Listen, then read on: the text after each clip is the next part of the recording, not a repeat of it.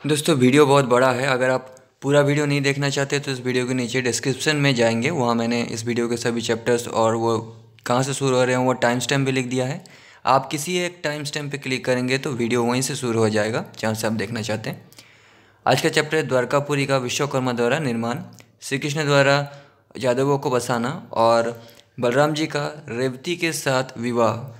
भीष्मबाई जी कहते हैं, जन्मे जय निर्मल प्रभात काल में सूर्योदय होने पर भगवान श्री कृष्ण नैतिक जप एवं श्रद्धा आदि पूर्ण करके वन में, वन के भीतर बैठे, यानी जप ध्यान करने के बाद वन के भीतर बैठे, तत्पश्चात दुर्ग के लिए उपयुक्त स्थान देखने की इच्छा से वे उस प्रदेश में घूमने लगे। हमने पिछले चैप्टर में पढ़ा था कि श्री कृष्ण विष्णु जी का ध्यान करते थे। विष्णु जी का मतलब है आत्मा। उस समय कुल के बड़े बूढ़े यदुवंशी भी यदुनंदन श्री कृष्ण के पास आ गए थे। श्री कृष्ण ने रोहिणी नक्षत्र में श्रेष्ठ शनिवार को उत्तम ब्राह्मणों से स्वस्ति वाचन कराकर विपुल पुण्याघोष के साथ दुर्ग निर्माण का कार्य आरंभ किया। आरंभ कर दिया। तत्पश्चात भक्तों में श्रेष्ठ केसी अंत कमल नयन श्री कृष्ण ने, जैसे वित्तासुर के बैरी इंद्र देवताओं से कोई बात कहते हैं, उसी प्रकार यादवों से कहा, यादवों मैंने देव सदन के समान इस भूमि का निर्माण कर लिया है। आप सब लोग देखें, मैंने इसका नाम भी निश्चित कर लिया है। इससे इसकी ख्याति होगी। मेरे द्वारा इस भूतल पर निर्मित हुई ये पूरी द्वारवती के नाम से प्रसिद्ध होगी तथा इंद्र की अमरावती के समान रमणीय दिखाई देगी। मैं इस पूरी के वही चिन्ह, वही मंदिर, वैसे ही चौराहे, उसी तरह की सड़कें और वैसे ही उत्तम अंतपुर बनाऊँगा जैसे कि अमरावती में है। जैसे देवता अमरावती में आनंद भोगते हैं, उसी प्रकार उग्रसेन आदि आप लोग भी निश्चिंत हो, अपने शत्रुओं को पीड़ा देते हुए इस पुरी में सानंद निवास करें। घरों के शिलान्यास की सामग्रियाँ संग्रह करके लाई जाए। तीरा हो और चौराहों की कल्पना की जाए। मतलब कैसा होगा ये सोचा जाए। सड़कों के लिए, भूमि का माप किया जाए तथा राजमहल में जाने का जो मार्ग है, उसके लिए भी भूमि नापी जाए। गृह निर्माण के कार्य में लगे रहने वाले जो सुयोग्य एवं श्रेष्ठ शिल्पी हो, उन्हें यहाँ भेजा जाए और जगह जगह मजदूरी का काम करने वाले मजदूरों को काम करने के लिए लगा दिया जाए। तो दोस्तों, वीडियो के नीचे लाल रंग का सब्सक्राइब लिखा हुआ है, उसको दबा के बेल आइकन ऑल कर लीजिए, लेटेस्ट वीडियो अपडेट्स के लिए। भगवान श्री कृष्ण के ऐसा कहने पर सब यादव हर्ष से उल्लासित हो गृह निर्माण के लिए उपयोगी सामग्री का संग्रह करने में लग गए उन्होंने। सभी घरों के लिए उनकी स्थिति के अनुसार शिलान्यास के निमित्त आवश्यक वस्तुओं का संग्रह किया। महाराज तरनंत श्रेष्ठ यादवों ने एक पवित्र दिन को ब्राह्मणों का पूजन करके हाथों में सूत्र लेकर भूमि को नापना आरंभ किया। वे वास्तु देवता के पूजन आदि कर्मों भी विधिपूर्वक संपन्न करने लगे। तत्पश्चात परम बुद्धिमान भगवान श्री कृष्ण ने वहाँ कारीगरों से कहा, कारीगरों, तुम लोग यहाँ हम यादवों के लिए सुंदर ढंग से एक मंदिर का निर्माण करो, जिसमें इष्ट देव की उत्तम विधि से स्थापना की जाए। यहाँ का मार्ग और चौराहा पृथक रहना चाहिए।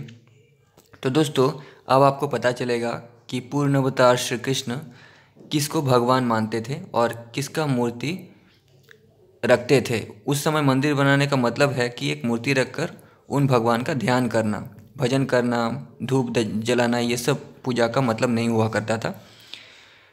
तो कृष्ण ने कौन सी मूर्ति स्थापना की? चलिए देखते हैं। तब उन कारीगरों ने महाभाव श्री कृष्ण से बहुत अच्छा कहकर, विधिपूर्वक दुर्ग कर्म दुर्ग निर्माण संबंधी प्रारंभिक कार्य जैसे नीम खोदना आदि और सत्कार करके यथोचित रीति से विभिन्न दुर्ग और मंदिरों का निर्माण किया तथा उनमें क्रमशः ब्रह्मा आदि देवताओं के लिए स्थान बनाए। ब्रह्मा का, ब्रह्मा के लिए जगह बनाया। ठीक है, ब्रह्मा का मूर्ति का स्थापना किया। और और किन किन का किया? चलिए पढ़ते हैं। उन्होंने जल, अग्नि, इंद्र तथा सील ओखली, इन चार देवताओं के लिए चार द्वार बनाए। अथवा शुद्धाक्ष आदि चार देवताओं के लिए द्वारों का निर्माण किया। तो ब्रह्मा का किया, इंद्र का किया, जल का किया, लेकिन महादेव और विष्णु का नहीं, क्योंकि वो खुद ही विष्णु के स्वरूप थे। ठीक है? और महादेव का इसलिए नहीं क्योंकि महादेव उनके मित्र थे। महादेव एक वरदायक देवता हैं, वो भगवान नहीं है, ठीक है? ये मैंने पहले भी पढ़ा है और श्री कृष्ण ने भी दिखाया आप लोगों को। आप चाहे तो इनसे सीख ले सकते हैं।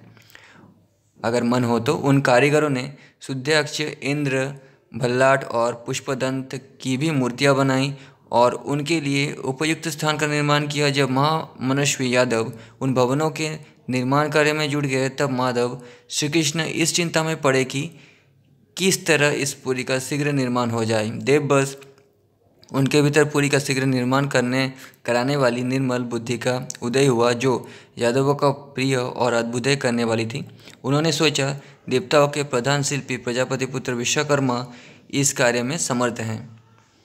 तो दोस्तों सबसे पहले ब्रह्मा जी, जो सृष्टि का निर्माता है, जिन्होंने दुनिया को डिस्कवर किया है, वही भगवान हैं ऐसा श्री कृष्ण का मानना था, ठीक है? इससे तो यही पता चलता है। वे अपनी बुद्धि के अनुसार इस पुरी की स्थापना करेंगे। मानी मन, ये बात सोचकर भगवान श्री कृष्ण एकांत स्थान में विश्वकर्मा के आगमन के लिए देवताओं की ओर उन्मुख हुए। इसी समय परम बुद्धिमान शिल्पाचार्य सुश्रेष्ठ विश्वकर्मा श्री कृष्ण के सामने आकर खड़े हो गए। विश्वकर्मा बोले, उत्तम व्रत को धारण करने वाले विष्णुदेव, मुझे इंद्र ने आपके पास शीघ्र भेजा है। मैं सेवक आपकी सेवा में उपस्थित हूँ। आज्ञा दीजिए, मैं आपकी क्या सेवा करूँ? देव प्रभु, मेरे लिए जैसे देवादिदेव ब्रह्मा जी तथा अविनाशी भगवान शंकर माननीय है, उसी प्रकार आप भी मेरे लिए सम्माननीय हैं। मतलब सम्मान पाने के पाने के योग्य हैं। ठीक है रिस्पेक्ट पाने के योग्य हैं आप तीनों। मेरी धारणा के अनुसार आप तीनों में कोई अंतर नहीं है महाबाहु। आपकी वाणी तीनों लोगों का ज्ञान कराने वाली है। आप मेरे प्रति उसी का प्रयोग कीजिए। मैं शिल्प शास्त्र का पारदर्शी आपके सामने खड़ा हूँ। आज्ञा दीजिए कौन सा कार्य करूँ? विश्वकर्मा का। ये बिना युक्त वचन सुनकर कंस विद्वांसी यदुश्रेष्ठ भगवान श्री कृष्ण उनसे ये अनुपम वचन बोले, सुश्रेष्ठ पूर्व काल में देवताओं की जो गुप्त सभा बैठी थी, जहाँ हम लोग उपस्थित थे, वहाँ तुम भी थे। अतः देवताओं का जो गुण प्रयोजन है उसे तुमने भी सुना ही है, अतः यहाँ मेरे रहने के लिए अवश्य ही सुंदर सदन का निर्माण करना होगा। उत्तम व्रतधारी देव मेरे निमित्त अपने शिल्प कौशल का प्रदर्शन करने के लिए तुम्हें इस नगरी को बसाना और इसके भवनों का निर्माण करना है, ये पूरी सब ओर से मेरे प्रभाव के अनुरूप गृहों द्वारा सुशोभित हो, महामते जैसे स्वर्ग में अमरावती पूरी सबसे श्रेष्ठ है, उसी तरह इस पृथ्वी पर ये पूरी जैसे भी सर्वोत्तम हो सके वैसे ही प्रयत्न करके तुम्हें इसका निर्माण करना है, तुम इस कार्य में समर्थ हो। मेरा यह स्थान तुम्हें वैसा ही बनाना है जैसे कि बैकुंठ धाम में है, जिससे यहाँ के सब मनुष्य मेरा इस पुरी का तथा यदुकुल का वैभव देख सके। उनके ऐसा कहने पर बुद्धि के स्वामी प्रजापति विश्वकर्मा ने अनायासी मान कर्म करने वाले देव शत्रु विनाशक श्री कृष्ण से कहा, प्रभु, आपने जो कुछ कहा है वो सब मैं करूँगा, परंतु पुरी के लिए जो भूमि है यह इस विशाल जन समुदाय के लिए पर्याप्त नहीं होगी। पुरुषोत्तम, आप चाहे तो ये विस्तृत हो सकेगी।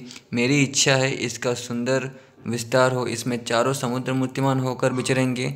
यदि जल के स्वामी समुद्र कुछ भी छोड़ सके तो ये पूरी भली भांति विस्तृत एवं उत्तम लक्षणों से संपन्न हो सकेगी। विश्वकर्मा के ऐसा कहने पर वक्ता में श्रेष्ठ श्री कृष्ण जो पहले से ही समुद्र से भूमि लेने का निश्चय कर चुके थे, सरिताओं के स्वामी सागर से बोले समुद्र, यदि मेरे प्रति तुम्हारी आदर बुद्धि है तो तुम मेरे कहने से बारह योजन तक जलाशयों में अपने जल को समेट लो।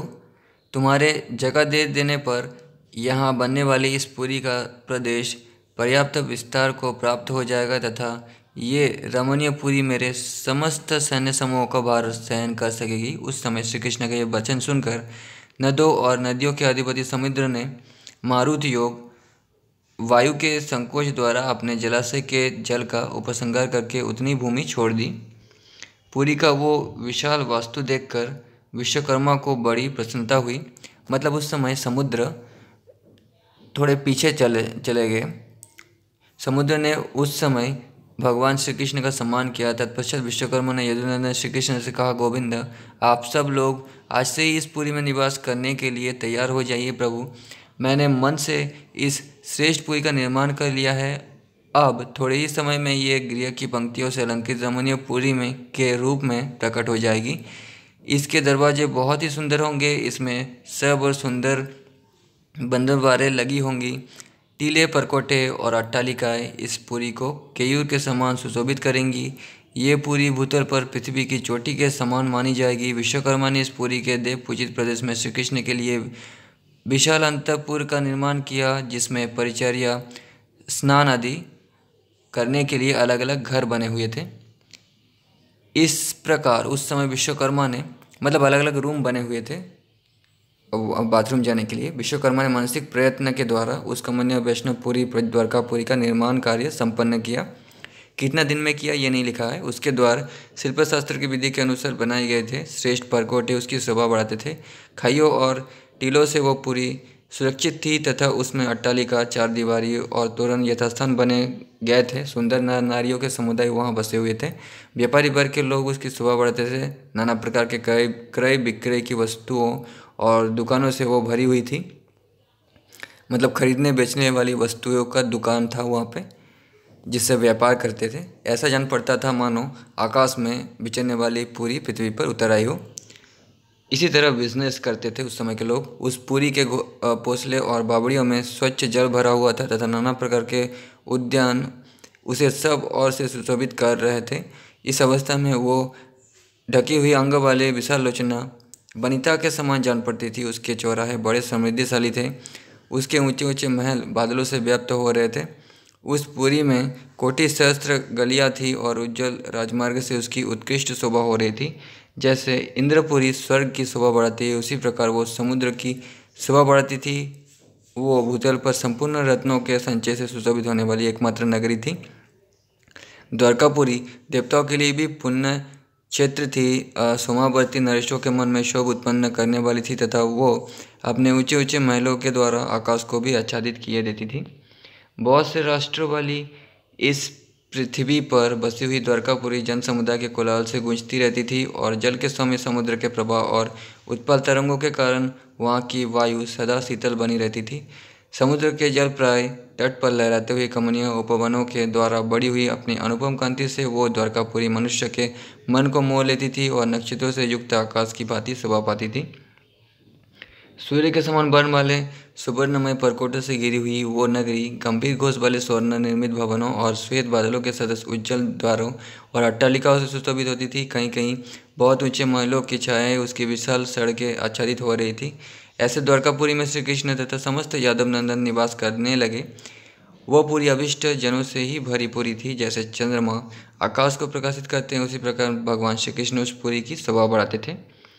इंद्रपुरी के समान द्वारकापुरी का निर्माण करके देव विश्वकर्मा भगवान श्री कृष्ण द्वारा सम्मानित हो स्वर्गलोक में चले गए, यानी पृथ्वी से, पृथ्वी ग्रह से बाहर चले गए। स्वर्गलोक को एक प्लेनेट मान सकते हैं आप, और उनको एक एलियन भी मान सकते हैं, क्योंकि बहुत जगह पर लिखा गया है कि वो सब विमान के द्वारा पृथ्वी पर आते थे। तत्पश्चात आत्मज्ञानी भगवान श्री कृष्ण के मन में ये विचार उठा कि यहाँ के लोगों को यदि मैं धन से तृप्त कर सकता तो बहुत अच्छा होता। तब उन भगवान उपेंद्र ने कुबेर के संपर्क में रहने वाले निधियों में उत्तम निधि शंख का रात्रि के समय अपने भवन में आह्वान किया। भगवान श्री कृष्ण ने मेरा आह्वान किया है ये जानकर निधियों का राजा संघ स्वयं ही द्वारकानाथ के समीप आ गए। तो दोस्तों, उस समय लोगों की मेंटल एबिलिटी, ठीक है, मानसिक शक्ति, जप और ध्यान के द्वारा इतनी बढ़ गई थी कि वो मानसिक संकल्प के द्वारा किसी तक भी बात पहुँचा सकते थे। जैसे हम लोग किसी को याद करते हैं तो तुरंत उसकी छवि मन में आ जाती है ना? लेकिन यही प्रोसेस उस समय बहुत डेवलप था। और उस समय मानसिक शक्ति से लोग अपने शरीर की शक्ति को भी बढ़ाया करते थे, क्योंकि मानसिक शक्ति शारीरिक शक्ति से बढ़कर होता है। उस शंख ने विनयपूर्वक हाथ जोड़कर धरती पर माथा टेक कर कुबेर के ही समान भगवान श्री कृष्ण को प्रणाम किया और इस प्रकार कहा, भगवान, मैं देवताओं का वित्त रक्षक हूँ, माँ भाऊ यदुनंदन, मुझे क्या करना होगा? जो कार्य हो उसके लिए मुझे आज्ञा दीजिए। तब श्री कृष्ण ने उस शंख नामक उत्तम गुहक से कहा, इस नगर में जो निर्धन या अल्प धन वाले मनुष्य हैं, उनको धन से परिपूर्ण कर दो। मैं इस नगरी में किसी भी ऐसे निर्धन मनुष्य को नहीं देखना चाहता जिसे भोजन न मिलने के कारण उपवास करना पड़ता हो, जो दुर्बल और मलिन हो तथा दीजिए कहकर किसी के सामने हाथ पहला फैलाता तथा भीख माँगता हो। बिशंबन जी कहते हैं, जन्मजय भगवान श्री कृष्ण की आज्ञा सिरधरे करके निधियों के राजा शंख ने समस्त निधियों को आदेश दिया, तुम लोग द्वारका में घर घर जाकर धनराशि की वर्षा करो, उस समय निधियों ने वैसा ही किया। इस तरह पूर्व काल में महात्मा केशव की पूरी द्वारका में कोई मन, मनुष्य किसी तरह भी निर्धन अथवा भाग्यहीन नहीं रह गया, दुर्बल या मलिन भी नहीं रह गया। मतलब श्री कृष्ण ने गरीबी मिटा दी। तत्पश्चात यादवों का प्रिय करने वाले पुरुषोत्तम भगवान श्री कृष्ण ने द्वारका में स्थित होकर ही वायुदेव का आह्वान किया। समस्त भूतों के प्राणों को योनि रूप वायुदेव एकांत में अकेले बैठे हुए भगवान श्री कृष्ण की, जो देवताओं के गुप्त प्रयोजन को अपने हृदय में धारण किए हुए थे, सेवा में उपस्थित हुए और बोले, देव, मैं शीघ्रगामी तथा सर्वत्र पहुँचने में समर्थ हूँ। मुझे आपकी कौन सी सेवा करनी है? अनग, मैं जैसे देवताओं का दूत हूँ, उसी तरह आपका भी हूँ। जगत के प्राण स्वरूप वायुदेव मूर्तिमान होकर सेवा में उपस्थित हैं। ये देख अंतर्यामी पापारी भगवान श्री कृष्ण उनसे रहस्य भरी बात बोले, मारुत जाओ, देवताओं सहित देवराज इंद्र का आदर करके उनकी अनुमति ले। देवताओं के यहाँ से सुधर्म नामक सभा का यहाँ उठा ले आओ। ये सहस्त्र धर्मात्मा तथा पराक्रम यादव उसी सभा में बैठे, जो क्षणभंगुर न हो, जो सभा अक्षय रमणीय इच्छानुसार सर्वत्र चल सकने वाले तथा सभासदों की इच्छा के अनुरूप स्वरूप धारण करने वाली है, वो सुधर्मा सभा अपने भीतर इन समस्त यदुवंशियों को धारण करे।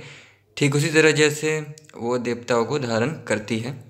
अनायासी महान कर्म करने वाले श्री कृष्ण का संदेश लेकर अपने ही समान गति वाले वायुदेव स्वर्गलोक में गए। उन्होंने समस्त देवताओं को आदरपूर्वक श्री कृष्ण का वचन सुनाया और उनकी अनुमति से सुधर्मा सभा को लेकर वे पुनः भूतल पर आए। अनायासी महान कर्म करने वाले सुधर्मात्मा श्री कृष्ण को वो सुधर्मा नामक देव सभा देकर वायु देव अंतर्ध्यान हो गए, यानी चले गए। श्री कृष्ण ने द्वारकापुरी के मध्य भाग में उस सुधर्मा सभा को स्थापित किया, जैसे स्वर्ग में देवताओं की सभा है, उसी प्रकार भूतल पर वो प्रमुख यादवों की सभा हुई। इस प्रकार अविनाशी श्रीहरि दिव्य भोगों और समुद्र के जल से प्रकट हुए रत्नों से अपनी पुरी को युवती स्त्री की भांति अलंकृत करते थे। उन्होंने सबके लिए धर्म की मर्यादाएँ बाँध दी। व्यापारियों प्रजाजनों सेनापतियों तथा प्रजावर के शासकों के लिए भी समुचित मर्यादाएँ स्थापित कर दी। उग्रसेन को द्वारका का राजा बनाया, काशी के विद्वान सांदीपनी मुनि को पुरोहित के पद पर प्रतिष्ठित किया, जो श्री कृष्ण के गुरु थे। संदीपनी जी ने श्री कृष्ण को ज्ञान और अस्त्र शिक्षा प्रदान किया था। बुद्धिमान श्री कृष्ण ने यादवों के वंशधर इस बड़े बड़े पुरुष को सभी कार्यों में सलाह देने के लिए अवान्तर मंत्री के पद पर स्थापित किया था। रथों में अतिरथी दारुक भगवान श्री कृष्ण का सारथी था। योद्धाओं में श्रेष्ठ सात्यकी ही समस्त योद्धाओं के प्रधान बनाए गए थे। इस प्रकार समस्त लोगों के तष्ट के कीर्ति वाले भगवान श्री कृष्ण इस प्रकार वेदांतिक व्यवस्था करके द्वारकापुरी में यादवों के साथ आनंदपूर्वक रहने लगे। उस समय श्री कृष्ण की अनुमति से बलदेव जी ने राजा रेबत की सुशीला कन्या रेवती को पत्नी रूप में ग्रहण किया। दोस्तों, आप लोगों ने देखा होगा, सुना होगा कि सतयुग से एक आदमी आया था द्वापर युग में, ठीक है? और उन्होंने अपनी बेटी बलराम जी को दिया था।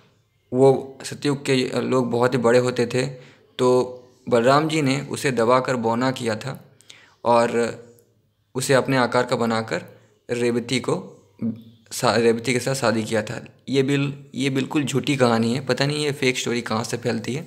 आपने यूट्यूब पर भी देखा होगा, कुछ लोग वीडियो बनाते हैं। देखिए, ऐसा कुछ नहीं लिखा गया है। कोई भी सतयुग का इंसान द्वापर युग में आ नहीं सकता।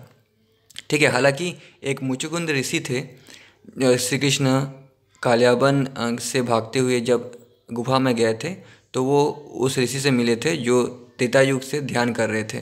ठीक है, इसका, ये तो लिखा हुआ है, लेकिन जो स्टोरी मैंने आपको बताया, रेवती को छोटा करके शादी करना, ये फेक स्टोरी है, आपने ये पता लगा लिया आज। ठीक है, अब नेक्स्ट चैप्टर उसके बाद नेक्स्ट चैप्टर भगवान श्री कृष्ण के द्वारा रुक्मिणी का अपहरण या हरण तथा यादव वीरों का जरासंध और शिशुपाल आदि के साथ घोर युद्ध।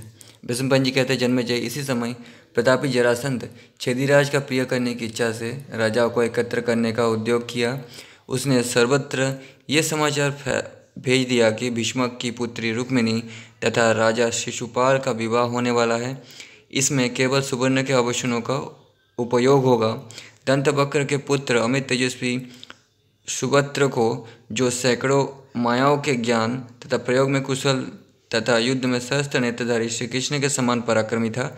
जरासंध ने ज़ोर देकर बुलवाया। मतलब जो राजा श्री कृष्ण के समान पराक्रमी था, जरासंध ने उसे बुलाया।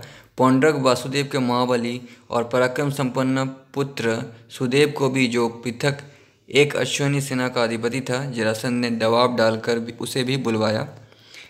एकलव्य के महाबली एवं पराक्रमी पुत्र को पांड्य राज के पुत्र को, कलिंग देश के अधिपति को श्री कृष्ण ने जिसका अप्रिय किया था, उस राजा बेनुधारी को कृत पुत्र अंशुमान एवं शुद्ध धर्म को, शत्रु को पराजित करने वाले कलिंगराज को, गांधार नरेश को तथा पराक्रमी कौशंबीपति को भी जरासंध ने बलपूर्वक बुलाने की चेष्टा की थी।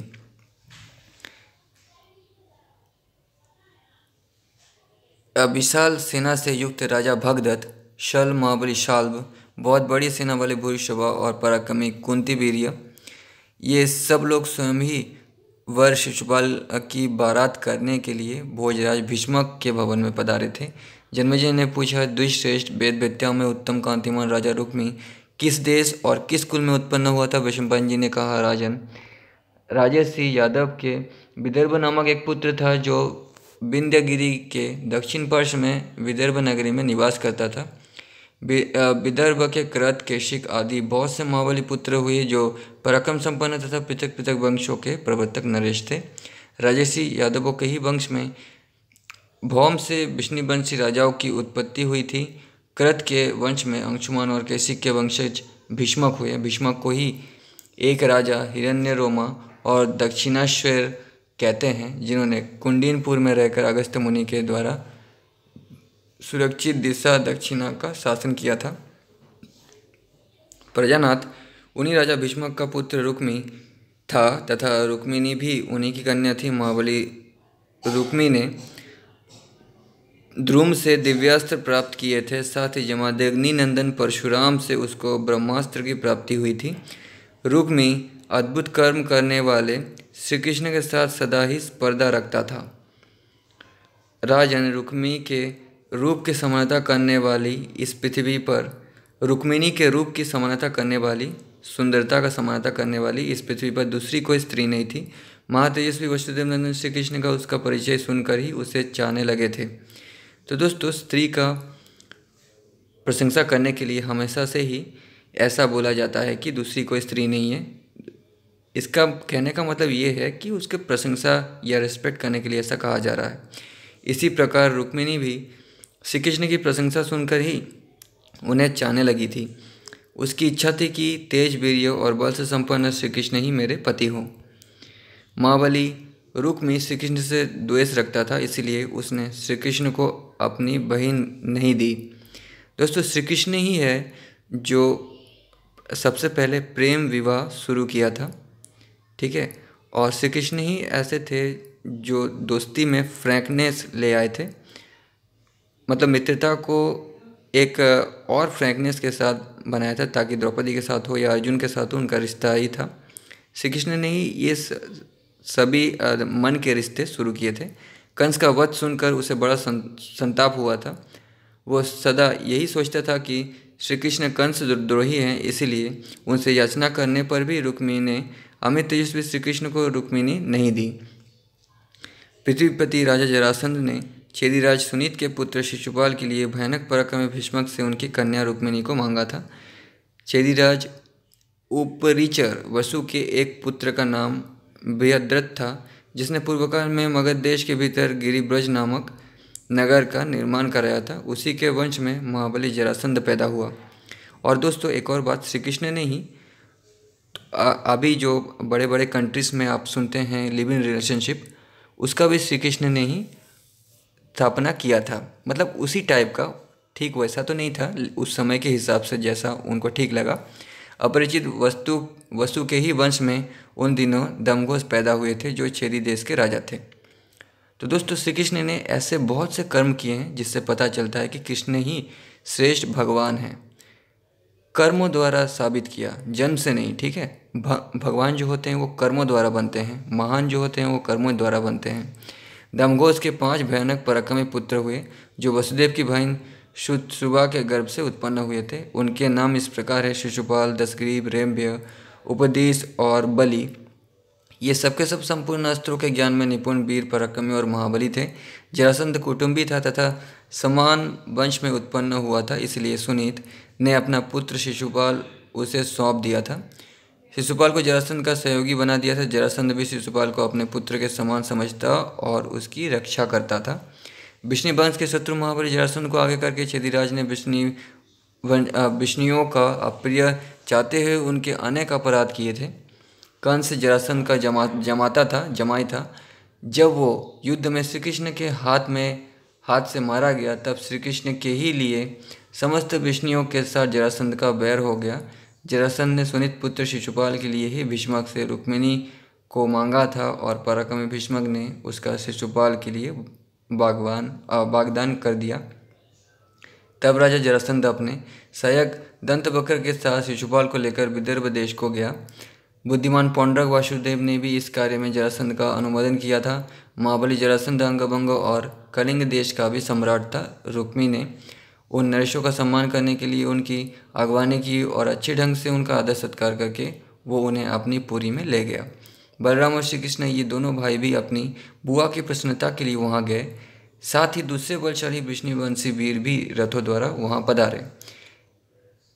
कृतकेशिक देश के स्वामी भीष्मक ने उन पूजनीय पुरुषों का विधिपूर्वक पूजन किया और उन्हें बाहर ही ठहराया। जब विवाह कल होने वाला था, अर्थात जब उसके होने में एक ही दिन शेष रह गया था, उस समय राजकुमारी रुक्मिणी तत्कालोचित मंगलाचार से संपन्न हो, अपने दीप्तिमान शरीर से सुशोभित हुई, होती हुई सुंदर देवालय में इंद्राणी की पूजा करने के लिए चार घोड़ों से जुते हुए रथ पर बैठकर ज्येष्ठ नक्षत्र में राजमहल से बाहर निकली, उस समय वो विशाल सेना से घिरी हुई थी। उस यात्रा के समय देव मंदिर के निकट परम सुंदर रूप से संपन्न साक्षात लक्ष्मी सी खड़ी हुई रुक्मिणी को भगवान श्री कृष्ण ने देखा। वो प्रज्वलित हुई अग्नि की शिखा, पृथ्वी पर उतरी हुई देव माया तथा भूतल से उठी हुई गंभीर स्वभाव वाली मूर्तिमती भूदेवी के समान जान पड़ती थी। उसे देखकर ऐसा प्रतीत होता था, मानो चंद्रमा की सौभ्य किरण सुंदरी नारी का रूप धारण करके पृथ्वी पर उतरी हो, बिना कमल की श्रेष्ठ लक्ष्मी हो अथवा भविष्य में होने वाली लक्ष्मी की सहायिका हो देवताओं के लिए भी जिसका दर्शन होना अत्यंत कठिन था, उस रुक्मिणी को श्री कृष्ण ने जी भर कर देखा। उसकी सोलह वर्ष की अवस्था थी, अंगों की कांति गौरव बन की थी। उसके नेत्र बहुत ही मनोहर एवं विशाल थे, आठ तथा नयनों के प्रांत बाग तांबे का तांबे के समान थे। जांग नितंब और स्तन मोटे एवं मासल थे। वो पतले और लंबे कद की स्त्री थी। उसके सारे अंग बड़े ही मनोहर थे। उसका मुख चंद्रमा के समान गौर कांति से सुशोभित था। नक लाल और ऊँचे थे। भौहें सुंदर तथा सिर के बाल काले और घुंघराले थे। वो रूप की दृष्टि से अत्यंत कमनीय थी। उसके नितंब और उजर पीन उभरे हुए थे। वो तीक्ष्ण श्वेत बराबर जमे हुए तथा चमकीले दांतों से सुशोभित होती थी। रूप यश और शोभा की दृष्टि से संसार में दूसरी कोई युवती उसके समान नहीं थी। उज्जवल रेशमी साड़ी पहने हुए राजकुमारी रुक्मिणी रूपवती देव सी, देवी सी जान पड़ती थी। जैसे घी की आहुति डालने से अग्नि की ज्वाला प्रज्वलित हो उठती है, उसी प्रकार उस प्रिय दर्शना राजकन्या को देखकर श्री कृष्ण श्री कृष्ण को उसे पाने के लिए बहुत कामना बढ़ गई। उन्होंने अपना हृदय उसी पर निछावर कर दिया। तदनंतर महाबली श्री कृष्ण ने विष्णुवंशियों के साथ सलाह और बलराम जी के साथ कर्तव्य का निश्चय करके रुक्मिणी को हर लेने का विचार किया। इतने में ही देव पूजा का कार्य संपन्न करके रुक्मिणी देवालय से निकलने लगी। तो दोस्तों, अगर श्री कृष्ण ऐसा नहीं करते तो रुक्मिणी के मर्ज़ी के खिलाफ शायद दूसरे राजा से विवाह करा देते उसका भाई। रुक्मिणी देवी लय से निकलने लगी। उसी समय श्री कृष्ण ने सहसा पहुंचकर उसे गोद में उठा लिया और अपने उत्तम रथ पर पहुँचा दिया। इधर बलराम ने भी एक पेड़ उखाड़कर आक्रमण करने वाले शत्रु का उसी से संगार कर डाला। उस समय बलराम की आज्ञा पाकर समस्त यदुवंशी वीर युद्ध के लिए कमर कसकर तैयार हो गए। वे ऊँचे एवं विशाल ध्वजा से युक्त भांति भांति के रथों, घोड़ों और हाथियों द्वारा बलराम जी को चारों ओर से घेर कर खड़े हो गए। बलवान श्री कृष्ण युद्ध का सारा सारा भार बलराम तथा सात्यकी पर छोड़कर रुक्मिणी को साथ ले शीघ्र ही द्वारकापुरी को चल दिए। मतलब बलराम और सात्यकी दोनों युद्ध कर रहे थे और श्री कृष्ण रुक्मिणी को लेकर चले गए। मधुसूदन श्री कृष्ण ने युद्ध का वो गुरुतर भार बलराम और सात्विकी के सिवा अक्रूर विप्रतु गद, कितवर्मा, चक्रदेव, सुदेव, महाबली, शारण निवृत्त शत्रु, पराक्रमी, भंगकार विदुरथ, उग्रसेन कुमार शंक सद्दुंद राजधिदेव मधुर, प्रसेन, चित्रक, सत्यक, पृथु तथा अन्य विष्णु और अंधक वंश के प्रमुख वीरों पर रखकर मतलब उन दोनों ही दोनों ही नहीं, और भी बहुत सारे योद्धा थे, उनके ऊपर रखकर द्वारकापुरी की प्रस्थान किया। उधर दंतवक्र जरासंध और पराक्रमी शिशुपाल कवच बांधकर श्री कृष्ण को मार डालने की इच्छा से क्रोध में भरे हुए निकले। पराक्रमी क्षेत्रीराज शिशुपाल अंग भंग कलिंग तथा पौंड्र देशीय योद्धाओं और अपने महारथी भाइयों के साथ युद्ध के लिए निकला। उस समय रोष में भरे हुए विष्णु वंश के महारथी वीरों ने जैसे देवता इंद्र को आगे आगे रखते हैं, उसी प्रकार बलराम जी को आगे करके उन समस्त शत्रुओं को आगे बढ़ने से रोक दिया।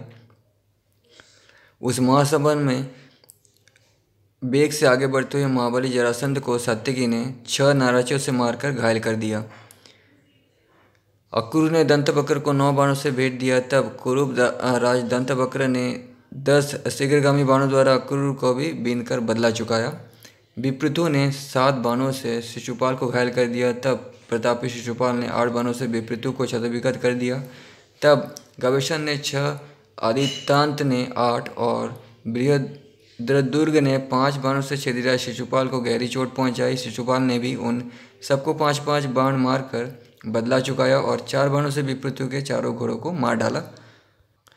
इतना ही नहीं शत्रुसूदन शिशुपाल ने एक भल्ल से बृहद दुर्ग का सिर काट लिया और गवेशन के सारथी को यमलोक पहुँचा दिया। तब महाबली एवं पराक्रमी विपृतु अपने अश्वहीन रथ को त्याग कर शीघ्र ही बृहद दुर्ग से रथ पर जा चढ़े। विपृतु का सारथी भी तुरंत ही गवेशन के रथ पर जा बैठा और उसके वेगशाली घोड़े को काबू में रखने की चेष्टा करने लगा। फिर तो वह कुपित हो धनुष और बाण हाथ में लेकर रथ मार्ग पर नित्य सा करते हुए सुनीत पुत्र शिशुपाल पर बाणों की बौछार करने लगे। चक्रदेव ने पंख वाले बाण से बाण से मारकर दंत बकर की छाती छेद डाली। फिर पाँच बाणों द्वारा उन्होंने युद्ध में पडरथ को भी घायल कर दिया। तब उन दोनों ने भी पहने, पैनी धार वाले दस मर्मभेदी बाणों द्वारा चक्रदेव को गहरी चोट पहुंचाई। फिर शिशुपाल के भाई बलि ने भी चक्रदेव को दस बाण मारे। तत्पश्चात उसने दूर से ही पाँच बाण मारकर विदुरथ को भी घायल कर दिया। विदुरथ ने भी छह पहने बाण मारकर युद्ध में बलि को आहत कर दिया। तब बलि ने महाबली महाबली विदुरथ को बदले में तीस बाण मारे। दूसरी और कितवर्मा ने युद्ध में पौंड्रक वासुदेव के पुत्र को तीन बाणों से घायल कर दिया। साथ ही उसके साथी को भी मार डाला और ऊँचे ध्वज को काट गिराया। तब क्रोध में भरे हुए पौंड्र ने छह बाण मारकर बदला चुकाया और एक भल्ल से कृतवर्मा का धनुष भी काट दिया। निवृत्त शत्रु ने बहुत से पैने बाण मारकर कलिंगराज को बीन डाला। तब कलिंगराज ने एक तुमर का प्रहार करके उसके कंधे पर घाव कर दिया। पराक्रमी कंक ने हाथी के द्वारा आक्रमण करके अंगराज के हाथी और अंगराज को भी तुमरों से घायल कर दिया। अंगराज अं, मतलब अंग के राजा। और अंग के राजा कौन था? कर्ण। है ना? तब यही होगा। तब अंगराज ने भी अनेक बाणों द्वारा कंक को चोट पहुंचाई। यहाँ पे कर्ण इसलिए नहीं लिखा गया है क्योंकि अंगराज कहने का मतलब यही है, अंग का राजा। उधर चित्र स्पग्ल और महारथी सत्यक ने कलिंग राज की सेना को सौ नाराजों से मारकर वितीर्ण कर डाला। तदनंतर क्रोध में भर हुई बलराम ने एक पत्रहीन वृक्ष वृक्ष के द्वारा युद्धस्थल में बंगराज के हाथी और बंगराज को भी काल के गाल में भेज दिया। लेकिन अंगराज पराजित हो गया, ऐसा भी नहीं लिखा गया है। ठीक है? ये भी ध्यान दीजिएगा, बंगराज का वध करके पराक्रमी संकर्षण ने, यानी बलराम ने धनुष हाथ में ले रथ पर आरूढ़ हो भयंकर नाराजों द्वारा बहुत से केशिकों का संघार कर डाला। तदनंतर कुपित हुए पराक्रमी बलराम ने छह बाणों से कौरुष देश के अनेक महाधनुधनों का वध करके मागधों की विशाल सेनाओं में सौ चुने हुए वीरों को यमलोक पहुँचा दिया। उन सबका संघार करके महाबल, महाबाहु बलराम ने जरासंध पर धावा किया। अपनी ओर आते हुए बलराम को मगधराज ने तीन नाराजों से घायल कर दिया। तब मुशलधारी बलदेव ने कुपित हो आठ नाराजों से जरासंध को क्षतविगत कर दिया और उसके सुवर्णभूषित ध्वज को एक भल्ल से काट गिराया। बाणों की वृष्टि करते और एक दूसरे को मारते हुए उन वीरों में देवाशु संग्राम के समान घोर युद्ध होने लगा। क्रोध में भरे हुए शस्त्र हाथी हाथी और रथों रथ रथों से और रुसाबे से युक्त घुड़सवार घुड़सवारों से भिड़ गए। हाथों में शक्ति ढाल और तलवार लिए हुए पैदल वीर, पैदलों से जूझते और उनके मस्तक काटते हुए युद्ध में पृथक पृथक बिछाने लगे। कवचों पर गिरा जाती हुई तलवारों और गिरते हुए बाणों का महान शब्द पक्षियों के चहचाने के समान सुनाई पड़ता था। युद्धस्थल में महामनुष्य वीरों की प्रत्यंचा के खींचने और शस्त्रों के टकराने का शब्द मेरी शंख, मृदंग और बेनुओं की ध्वनि को आच्छादित कर देता था। नेक्स्ट चैप्टर श्री कृष्ण के द्वारा रुक्मी का पराजय, यानी रुक्मी का, रुक्मिणी का भाई तथा रुक्मिणी आदि के साथ श्री कृष्ण का विवाह और उनसे उत्पन्न हुई संतानों का संक्षिप्त परिचय। रुक्मिणी के साथ श्री कृष्ण का शादी और रुक्मिणी से पैदा हुआ जितने संतानें थे, जितने बच्चे थे, उनका भी वर्णन। विषम जी कहते, जन्मे जय। रुक्मी ने जब सुना कि श्री कृष्ण रुक्मिणी को हर कर लिए जा रहे हैं उसने कुपित होकर भीष्मक के सामने ही ये प्रतिज्ञा की, रुक्मी बोला, मैं युद्ध में श्री कृष्ण का वध किए बिना तथा रुक्मिणी को वापस लाए बिना कुंडिनपुर में प्रवेश नहीं करूँगा, ये सत्य कहता हूँ। ऐसे प्रतिज्ञा करके क्रोध में भरा हुआ वीर रुक्मी प्रचंड आयुध और ऊँचे ध्वज से सुशोभित रथ पर अड़ू हो विशाल सेना के साथ बड़े वेग से आगे बढ़ा। उसके पीछे दक्षिण भारत के बहुत से नरेश कृतपुत्र अंशुमान, श्रुतर्व तथा पराक्रमी वेणुदारी भी चले भीष्मक के अन्य पुत्र भी जो रथों, रथियों में श्रेष्ठ थे, रथ के द्वारा रुक्मी के साथ गए। कृत केशिक देश के सभी मुख्य महारथियों ने भी रुक्मी का साथ दिया। उन सबने दूर तक रास्ता तय करके नर्मदा नदी के किनारे अपने प्रियतमा रुक्मिणी के साथ रथ पर बैठे हुए श्री कृष्ण को क्रोधपूर्वक देखा। रुक्मी को अपने बल का बड़ा घमंड था। उसने अपने साथ आई हुई सारी सेना को एक जगह खड़ी करके देरत युद्ध करने की इच्छा से स्वयं ही भगवान मधुसूदन पर आक्रमण किया। उसने चौंसठ पहने बाणों से श्री कृष्ण को बीन डाला। तब जनार्दन ने भी समर में सत्तर बाण मारकर रुक्मिणी से बदला चुका दिया। महाबली और पराक्रमी श्री कृष्ण ने विजय के लिए प्रयत्नशील रुक्मी के ध्वज को काट डाला और तथा उसके साथी के सिर को धड़ से काट लिया। उसे संकट में पड़ा जान दक्षिण दिशा, दिशा के समस्त राजाओं ने श्री कृष्ण को मार डालने की इच्छा रखते हुए उन्हें चारों ओर से घेर लिया। माँ महाभाव अंशुमान ने दस सुतरवा ने पाँच और क्रोध में भरे हुए बेनुधारी ने सात बाणों से उन्हें घायल कर दिया। तब पराक्रमी गोविंद ने एक बाण से अंशुमान की छाती छेद डाली। इससे व्यतीत होकर राजा अंशुमान रथ के पिछले भाग में जा बैठा। तत्पश्चात श्री कृष्ण ने चार बाणों से सुतरवा के चारों घोड़ों को मार डाला और बेनुधारी को बेनुधारी की ध्वजा काटकर उसकी दाहिनी बाव में गहरी चोट पहुंचाई। इसी प्रकार सुदरबा को भी पाँच बाणों से घायल कर दिया। सुदरबा व्यथा से पीड़ित हो, ध्वज का सहारा ले शांत होकर बैठ गया। तत्पश्चात कृत केसिक देश के सभी मुख्य महारथी बाणों की वर्षा करते हुए भगवान श्री कृष्ण पर चढ़ाए। श्री कृष्ण ने युद्धस्थल में अपने बाणों द्वारा उन सबके साथ सबके बाण काट डाले और उषावेश में भरकर उन्होंने शत्रु के उन गिरते हुए बाणों को नष्ट कर दिया। पर्वत के समान अभिचल भाव से खड़े हुए उन महाबली श्री कृष्ण ने पुनः चौंसठ पहने बाणों द्वारा क्रोध में भर कर अपने पर आक्रमण करने वाले शत्रु पक्ष के अन्य वीरों को मार गिराया। अपनी सेना को भागती देख रुक में क्रोध के वशीभूत हो गया। उसने पाँच तीखे बाणों से श्री कृष्ण की छाती में गहरी चोट पहुंचाई, साथ ही तीन पेड़े सहायकों से उनके साथी को भी घायल कर दिया और झुके हुए गार्ड वाले एक बाण से उनके ध्वज पर भी आघात किया। रुक्मी को शीघ्रतापूर्वक बाण मारते देख श्री कृष्ण कुपित हो उठे। उन्होंने अपने बाणों से रुक्मी को घायल कर दिया और विजय के लिए प्रयत्नशील हुए। रुक्मी के धनुष को भी काट डाला। फिर तो पराक्रमी रुक्मी दूसरा धनुष हाथ में लेकर भी श्री कृष्ण को मार डालने की इच्छा से दूसरे दूसरे दिव्यास्त्र प्रकट करने लगे। महाबली श्री कृष्ण ने अपने अस्त्रों द्वारा उसके अस्त्रों का निवारण करके पुनः तीन बाणों द्वारा उसके धनुष और रथ के हर्षे को काट डाला। धनुष कट जाने पर रथहीन हुए पराक्रमी वीर रुक्मी हाथ में ढाल और तलवार लेकर उस टूटे रथ से गरुड़ की भांति कूद पड़ा। युद्ध में अपने सामने आते हुए रुक्मी की तलवार को श्री कृष्ण ने काट डाला और कुपित होकर तीन नाराजों से उसकी छाती छेद डाली। तब संज्ञाशून्य हुआ महाबाहु। राजा रूप में पृथ्वी को प्रतिध्वनित करता हुआ मूर्छित होकर गिर पड़ा मानो कोई महान असुर ब्रज से मारा गया हो। तदनंतर माधव ने पुनः अपने बाणों द्वारा उस, उन सब नरेश को घायल करना आरंभ किया। रुक्मी को धराशायी हुआ देख, सब नरेश भाग खड़े हुए अपने भाई को भूमि पर छटपटाते देख उसके जीवन की इच्छा रखने वाली रुक्मिणी भगवान श्री कृष्ण के पैरों पर गिर पड़ी। तब भगवान श्री कृष्ण ने उसे उठाकर हृदय से लगा लिया और भली भांति सांत्वना दी। फिर रुक्मी को अभय देकर वे अपनी पुरी को चले गए। विष्णु बंसी भी जरासन तथा उन राजाओं को पीछे हटाकर हर्ष से उल्लासित हो बलराम जी को आगे करके द्वारकापुरी की ओर चल दिया। कमल ने श्री कृष्ण के चले जाने पर सुतरबा रणभूमि में आया और रुक्मी को रथ पर बिठाकर अपनी पूरी की ओर ले चला। अभिमान और और मत से उन्मत्त रहने वाला रुक्मी अपनी बहन को लौटाकर ना ला सका, इसलिए उसकी प्रतिज्ञा भंग हो गई। इसी से उसने कुंडिनपुर में प्रवेश करने की इच्छा नहीं की। उसने विदर्भ देश में अपने रहने के लिए दूसरे विशाल नगर का निर्माण किया, जो इस भूतल पर भोजकट के नाम से विख्यात हुआ। उस महातेजस्वी वीर ने वहाँ बलपूर्वक रहकर दक्षिण दिशा का शासन किया और महाबहू राजा भीष्म कुंडिनपुर में रहने लगे। विष्णुवंशियों की सेना के साथ जब बलराम जी द्वारका में पहुँचे, तब भगवान श्री कृष्ण ने विधिपूर्वक रुक्मी का प्राणीग्रहण किया।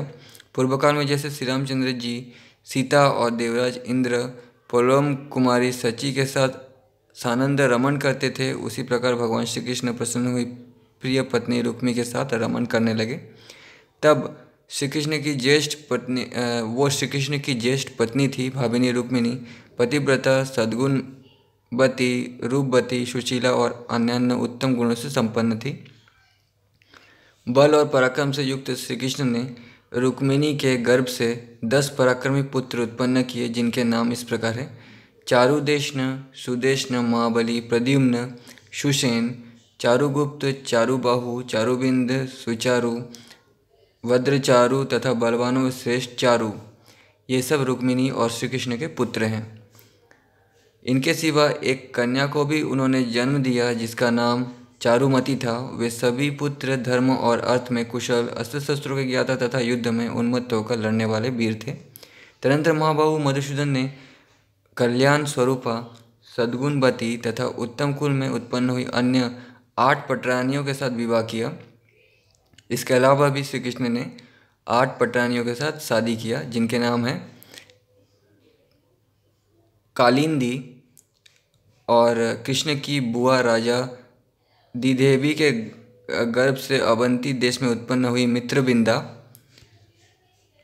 कालिनी, कालिंदी मित्रबिंद्या नंदजीत की पुत्री सत्या, जामवंत की पुत्री जामवती, रोहिणी जिसका दूसरा नाम भद्रा था केशिंग नरेश की पुत्री होने से यही कैके कहलाती थी, ये श्री कृष्ण की बुआ सुतकृति की कन्या थी। मद्रास की सुशीला एवं शुभलोचना पुत्री मनोहर मुस्कान वाली लक्ष्मणा, सत्याजीत की पुत्री सत्यभामा, राजा शिव की तवग्नि पुत्री, जो रूप में अप्सरा के समान थी, इनके सिवा सोलह हज़ार और स्त्रियाँ थीं। उन सब के साथ अतुल पराक्रमी श्री कृष्ण ने एक ही समय उतने ही रूप धारण करके विवाह किया। सोलह हज़ार स्त्रियों की कहानी नेक्स्ट चैप्टर पे पढ़ने को मिलेगा। जो आने वाला चैप्टर होगा, दो तीन चैप्टर में, उन सब के वस्त्र और आभूषण बहुमूल्य थे। वे सबके सब संपूर्ण मनोवांचित भोगों से संपन्न तथा सुख भोगने के योग्य थी। उन सब के गर्भ से श्री कृष्ण के सहस्र वीर पुत्र उत्पन्न हुए। सहस्र मतलब एक हज़ार। वे सभी पुत्र शास्त्र शास्त्रत कुशल बलवान, महारथी, यज्ञकर्ता पुण्यकर्मा, महान भाग्यशाली तथा महाबली थे। नेक्स्ट चैप्टर रुक्मी की पुत्री शुभांगी द्वारा स्वयंवर में प्रद्युम्न का वरण। प्रद्युम्न पुत्र अनिरुद्ध का, रुक्मिणी की पुत्री रुक्मवती के साथ विवाह और बलराम द्वारा रुक्मी का वध। विष्णु जी कहते जन्म जी तदनंतर दीर्घकाल व्यतीत हो जाने के पश्चात शत्रुओं का दमन करने वाले पराक्रमी वीर रुक्मिणी ने रुक्मी ने अपनी पुत्री का स्वयंवर रचाया। उसमें रुक्मी का बुलावा पाकर विभिन्न दिशाओं से बहुत महापराक्रमी श्री संपन्न राजा और राजकुमार आए। वहाँ बहुत से अन्य यदु कुमारों के साथ प्रद्युम्न भी आए। रुक्मी की कन्या उन्हें चाहती थी और प्रद्युम्न भी उस शुभलोचना राजकुमारी को पाने की इच्छा रखते थे। उस विदर्भ राजकुमारी का नाम था शुभांगी। वह कांति और सुबह से संपन्न थी। रुक्मी की वो कन्या उन दिनों अपने रूप सौंदर्य के लिए समस्त भूमंडल में विख्यात थी। जब सभी महामनुष्य भोपाल स्वयंवर सभा में बैठ गए, तब उस विदर्भ राजकुमारी ने आकर शत्रुसूदन प्रद्युम्न का वरण कर लिया। प्रद्युम्न संपूर्ण अस्त्रों के ज्ञान और प्रयोग में कुशल थे।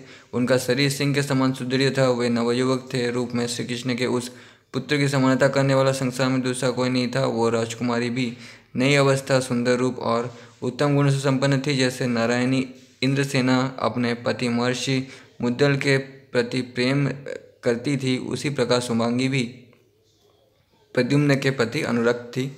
स्वयंवर समाप्त हो जाने पर सब राजा अपने अपने नगर को चले गए और प्रद्युम्न उस विदर्भ राजकुमारी को साथ लेकर द्वारका चले आए। वीर प्रद्युम्न उसके साथ उसी प्रकार रमन करने लगे, जैसे राजा नल दमयंती के साथ करते थे। उन्होंने वैदर्भी के गर्भ से देव कुमार के समान तेजस्वी पुत्र को जन्म दिया। उसका नाम था अनिरुद्ध वो अपने पराक्रम पूर्ण कार्य द्वारा भूमंडल के अनुपम वीर माना जाता था। वो धनुर्वेद, वेद और नीति शास्त्र का पारंगत विद्वान था। राजन, जब अनिरुद्ध युवावस्था में संपन्न हुए, तब रुक्मिणी ने उनकी पत्नी, उनको पत्नी बनाने के लिए रुक्मी की पौत्र को, जो सुवर्ण के समान गौर वर्ण वाली थी, उसे मांगा। उसका नाम था रुक्मवती। जन्मेजय राजा रुक्मी अनिरुद्ध के गुणों से ही आकृष्ट होकर अपनी पौत्री का विवाह उनके साथ करना चाहता था। अतः रुक्मिणी के आग्रह से उसे राज़ी रखने के लिए राजा प्रद्युम्न की प्रसन्नता के निमित्त उस महायशस्वी राजा ने श्री कृष्ण के साथ स्पर्धा रखते हुए भी बैर त्याग कर प्रसन्नतापूर्वक कहा कि मैं अपनी पौत्री अनिरुद्ध के लिए दे रहा हूँ। तब भगवान श्री कृष्ण अपनी पत्नी रुक्मिणी, प्रद्युम्न आदि पुत्रगण भैया बलराम तथा अन्य विष्णुवंशी योद्धाओं के साथ सेना सहित विदर्भ देश में गए। उस विवाहोत्सव में रुक्मी के भाई बंधु और सुधीर नरेश भी उसका निमंत्रण पाकर वहाँ आए थे। महाराज शुभ तिथि तथा उत्तम नक्षत्र में अनिरुद्ध का वो परम उत्सवमय विवाह कार्य संपन्न हुआ, जब अनिरुद्ध ने विदर्भ राजकुमारी रुक्मवती का पानी ग्रहण किया। उस समय विदर्भ निवासियों तथा यादवों के मन में बड़ा हर्ष हुआ।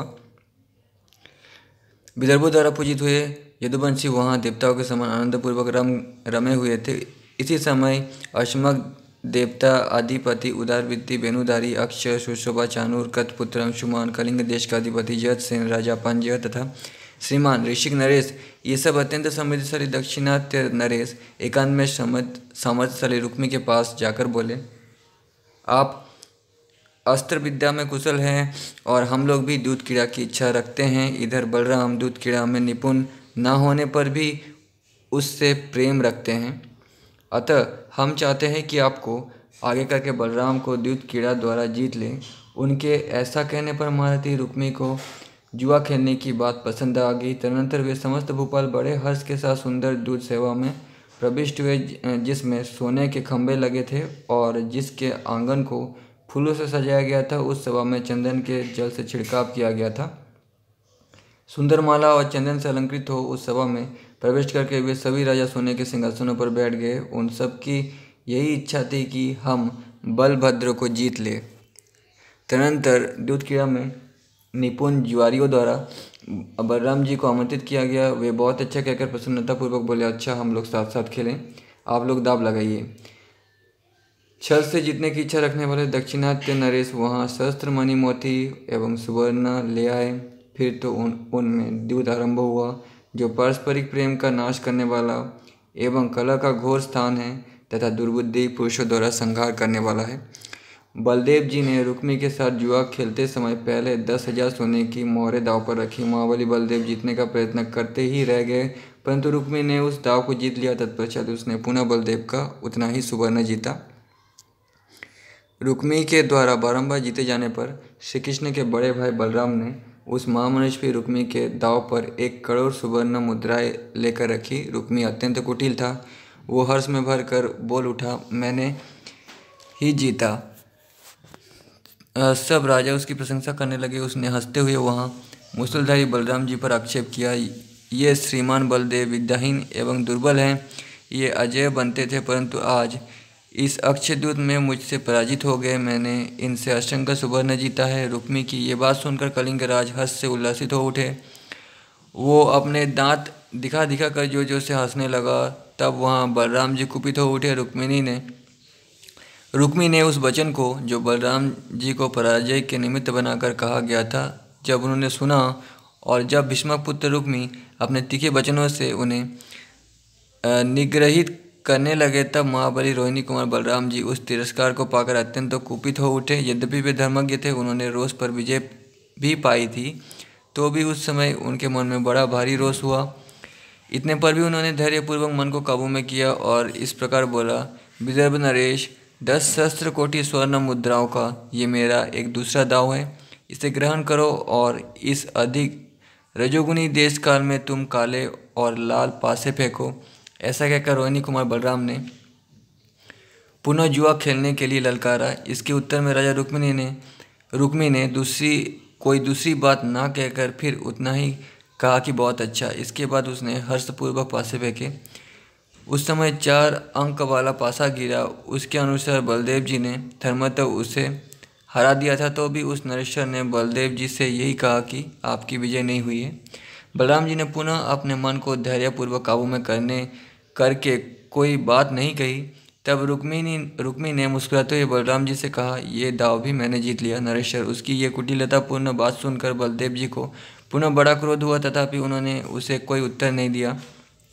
तब गंभीर घोष के साथ वहाँ आकाशवाणी हुई जो महात्मा बलदेव के क्रोध को बढ़ाने वाली थी। श्रीमान बलदेव जी सत्य कहते हैं, ये रुक्मी धर्मतः पराजित हो चुका है। यद्यपि इसने दाव लगाते समय कोई बात नहीं कही थी तो भी इसने जो पासा फेंकने आदि का कर्म किया, उससे उस दाव में इसका सहयोग सतत सिद्ध हो जाता है। इसने मन में उस दाव को स्वीकार कर लिया था, ऐसा समझना चाहिए। तो जुआ में तो ये सब होता ही रहता है। ये फिर भी बलराम जी गुस्सा हो गए। आकाश से सुंदर ढंग से कहा गया ये यथार्थ वचन सुनकर बलवान शंकर शंकरसन उठकर खड़े हो गए और उन्होंने सोने के बने हुए विशाल अष्टापद के द्वारा रुक्मिणी के बड़े भाई रुक्मी को पृथ्वी पर मार गिराया। विवाद में कुपित हुए यदुनंदन बलराम ने अपने ऊपर आक्षेप करने वाले रुक्मी को पटक कर अष्टापद से ही मार डाला। वहाँ से हटकर अत्यंत क्रोध में भरे हुए संकर्षण ने कलिंगराज, जैसन के सारे दांत तोड़ डाले और रोज से वे सिंह के समान दहाड़ने लगे। इसके बाद उन्होंने तलवार उठाकर समस्त राजाओं को भयभीत कर दिया। फिर दूध सभा के सुवर्णमय खम्भ को उखाड़ कर बलवान में श्रेष्ठ बलराम जी आगे बढ़े। गजराज के समय तो बलराम जी बहुत ज़्यादा गुस्सा करते थे। उन्हें बहुत ज़्यादा फ्रस्ट्रेशन था, इस बात से पता चलता है।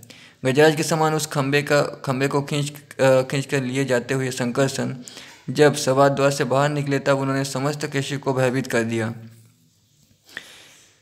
मतलब बलराम जी कुछ भी गलत होते हुए नहीं देखना चाहते थे, तुरंत गुस्सा हो जाते थे, जबकि श्री कृष्ण मुस्कुराने लगते थे, क्योंकि उनको ज्ञान था।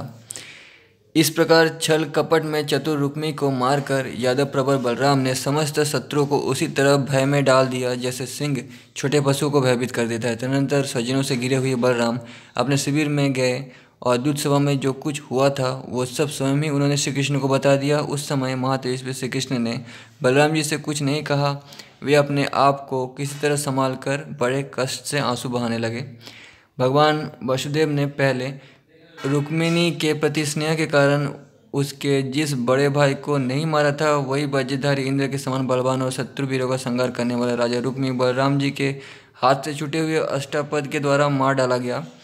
भीष्मक पुत्र राजा रुक्मी महान बल पराक्रम से संपन्न था। वो ध्रुम और परशुराम जी से अस्त्र विद्या पाकर उन्हीं दोनों के समान पराक्रमी हो गया था। रुक्मी विद्वान युद्ध कुशल और नित्य यज्ञ करने वाला था। उसके मारे जाने पर विष्णु और अंधक वंश के सभी वीर उदास हो गए। विष्णुबन जी कहते जन्म जय। भाई के मारे जाने से माँ भगा रुक्मिणी आत्मवाणी में विलाप करने लगी। रुक्मिणी रोने लगी, क्योंकि उसका भाई रुक्मी को बलराम जी ने मार दिया था। उन्हें रोती बिलकती देख भगवान श्री कृष्ण ने सांत्वना दी, भरत श्रेष्ठ, ये मैंने तुम्हें रुक्मी के वध का यथावत वृत्तांत बताया है। साथ ही ये भी स्पष्ट कर दिया कि उन विष्णुवंशियों के साथ किस प्रकार ब्यार हुआ था। महाराज विष्णुवंशी भी वहाँ से सब प्रकार के धन लेकर बलराम और श्री कृष्ण का आश्रय लेकर द्वारकापुरी को चले गए। नेक्स्ट चैप्टर नरकासुर का परिचय। द्वारका में इंद्र का आगमन और श्री कृष्ण से नरक बध के लिए अनुरोध। सत्यभामा से श्री कृष्ण का पारज्योतिषपुर में गमन तथा उनके द्वारा मुरु निशुंद हैगिरी, विरूपाक्ष, पंचमनाद अन्य असुर तथा नरकासुर का वध जन्मजय ने पूछा माँ मुनि रुक्मी के मारे जाने पर। दोस्तों, मैं सिर्फ़ रिसर्च करके जो रियल चैप्टर्स है वही पढ़ रहा हूँ, ठीक है? जो फेक चैप्टर्स हैं, जो मिलाया गया है, वो मैं आप लोगों के सामने रख रहा हूँ। जो मिला मतलब जो मिलाया गया है वो नहीं पढ़ रहा हूँ, ठीक है? ताकि आप लोगों को सिर्फ़ सच ही दिखा सकूँ, जो रियल चैप्टर्स है। हालाँकि इसमें फेक चैप्टर्स बहुत कम हैं, एक या दो ही होंगे। जब परम पराक्रमी माँ बहु श्री कृष्ण द्वारका को लौट आए, तब उन्होंने क्या किया, ये मुझे बताइए। बेसम बहन जी कहते हैं, जन्म जय श्रीमान यादव नंदन पराक्रमी भगवान श्री कृष्ण उन यादवों से घिरे हुए जब द्वारका को आए, तब उन्होंने उस पूरी का भली बात निरीक्षण किया। कमल ने श्री कृष्ण ने जो नाना प्रकार के धन और रत्न प्राप्त किए थे, उनका वे द्वारका में यथोचित रूप से संरक्षण करते थे और उन्हें हड़पने की इच्छा वाले राक्षसों को उन्होंने मार मार भगाया था। वह उनके मार्ग में दैत्य और दानव विघ्न डाला करते थे। माँ बाबू श्री कृष्ण ने बार पाकर उन्मत्त हुए, उन बड़े बड़े असुरों को मार डाला। तत्पश्चात नरक नामक दानव ने भगवान के कार्य में विघ्न डाला आरंभ किया। यह समस्त देवताओं को भयभीत करने वाला तथा देवराज इंद्र का महान शत्रु था। समस्त देवताओं को बाधा देने वाला नरकासुर भूमि के भीतर मूर्तिलिंग में स्थित होकर देवताओं और ऋषियों के प्रति कुल आचरण किया करता था। भूमि का पुत्र होने से नरक को भौमासुर भी कहते थे। उसने हाथी का रूप धारण करके प्रजापति त्वष्टा की पुत्री कसेरु के जो चौदह वर्ष की अवस्था वाली तथा सुंदर अंगों से सुशोभित थी, उसके समीप जाकर उसे पकड़ लिया। नरकासुर प्राज्योतिषपुर का राजा था। भगदत्त भी प्राज्योतिषपुर का ही राजा था, जो महाभारत युद्ध में भाग लिया था। उसके शोक और भय नष्ट हो गए थे। वो मोहबश सुंदरी कशेरु को अपनी दोनों भुजाओं में दबाकर हर ले गया और इस प्रकार बोला, देवी, देवता और मनुष्य के पास जो नाना प्रकार के रत्न हैं, सारी पृथ्वी जिन रत्नों को धारण करती है तथा समुद्रों में जो रत्न संचित है, उन सबको आज से सभी राक्षस दैत्य दानव भी तुम्हें ही लाकर दिया करेंगे। इस प्रकार भौमासुर ने नाना प्रकार के उत्तम रत्न और भांति भांति के वस्त्रों का उस समय अपहरण किया था। अपहरण करके भी उसने उन पर अधिकार नहीं किया, उन्हें अपने उपभोग में नहीं लाया। मतलब ले ले जाने के बाद भी उसने उनके साथ कुछ गलत नहीं किया। गंधर्वों की जो कन्याएँ थी, उन्हें भी बलवान नरकासुर हर लाया था। देवता और मनुष्यों की कन्याओं तथा अप्सराओं के साथ सात समुदाय का भी उसने अपहरण कर लिया। इस प्रकार सोलह हज़ार एक सौ सुंदरी स्त्रियाँ उसके घर में एकत्र हो गई। वे सब के सब सत्यों के मार्ग का अनुसरण करके व्रत और नियमों में, नियमों के पालन में तत्पर हो एक बेनी धारण करती थी। वैष्णव जी कहते, जन्मे जय। उदार हृदय वाले भूमासुर ने उनके रहने के लिए मणि पर्वत पर एक श्रेष्ठ पुर का निर्माण कराया था। जिस स्थान पर वो पुर बना था, वो अलका नाम से प्रसिद्ध था। वो स्थान मूर नामक दैत्य के अधिकृत प्रदेश में था। मूर या मोरू नामक दैत्य के दस पुत्र तथा प्रधान प्रधान राक्षस, उन कुमारियों तथा पारज्योतिषपति भूम की रक्षा करते हुए उसकी उपासना करते थे। ये महान असुर नरक तपस्या के अंत में बर पाकर उन्मत्त हो गया था। पूर्वकाल में समस्त महादैत्यों ने एक साथ मिलकर भी वैसा अत्यंत घोर महाकर्म पाप कर्म नहीं किया था, जो उस महान असुर ने अकेले ही कर डाला था। उस महादैत्य ने कुंडलों के लिए देव माता आदिति तक का तिरस्कार कर दिया था। पृथ्वी देवी ने जिससे जन्म दिया था और प्राज्योतिषपुर पर जिसका अधिकार था उस नरकासुर के चार युद्धमत दैत्य द्वारपाल थे।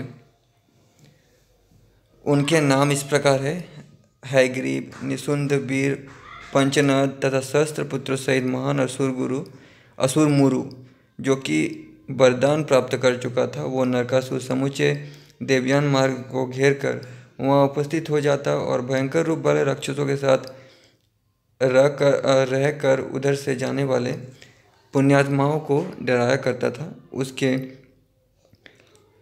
वध के लिए शंख, चक्र, गदा और खड़ग धारण करने वाले महाभाव श्री कृष्ण विष्णुकुल में देवकी के गर्भ और वसुदेव के संयोग से प्रकट हुए। उनका तेज संपूर्ण विश्व में विख्यात है। उन पुरुष प्रवर श्री कृष्ण का निवास स्थान द्वारका है, जिसे देवताओं ने उपयुक्त उपाय से उपलब्ध कराया था। द्वारकापुरी इंद्र के निवास स्थान अमरावती पुरी से भी अत्यंत रमणीय है। वो महासागर से घिरा हुआ तथा पाँच पर्वतों से सुशोभित है। देवपुरी के समान सुशोभित होने वाली द्वारका में एक सभा है, जिसमें सोने की चंदन वारे लगी है। उसकी लंबाई, चौड़ाई एक एक योजन की है। तथा वो दशार्य सभा के नाम से विख्यात है उसमें बलराम और श्री कृष्ण आदि, विष्णु और अंधक वंश के सभी लोग बैठते थे और संपूर्ण लोक जीवनी की रक्षा में दत्तचित्त रहते थे। भरत श्रेष्ठ एक दिन की बात है, सभी यदुवंशी उस सभा में विराजमान थे। इतने में ही दिव्य सुगंध से भरी हुई वायु चलने लगी और दिव्य कुसुमों की वर्षा होने लगी। तुरंत दो ही घड़ी के अंदर आकाश में किलकिलाहट का शब्द हुआ और तेजो राशि से घिरी हुई दिव्य आकृति प्रकट हुई, जो धीरे धीरे पृथ्वी पर आकर खड़ी हो गई। उस तेज पुंज के भीतर श्वेत हाथी पर बैठे हुए इंद्र संपूर्ण देवताओं के साथ दिखाई दिए। उस समय महात्मा देवराज इंद्र का स्वागत करने के लिए बलराम श्री कृष्ण तथा राजा उग्रसेन, विष्णु और अंधक वंश के अन्य लोगों के साथ उठकर उनकी आगवानी में गए। इंद्र ने हाथी से उतरकर शीघ्र भगवान श्री कृष्ण को हृदय से लगाया। हृदय से लगाया, फिर बलदेव तथा राजा उग्र उग्रसेन से भी वे इस प्रकार मिले। दोस्तों, वीडियो बहुत बड़ा हो गया। इसके बाद हम नेक्स्ट वीडियो पे पढ़ेंगे, ठीक है? तो तब तक के लिए धन्यवाद।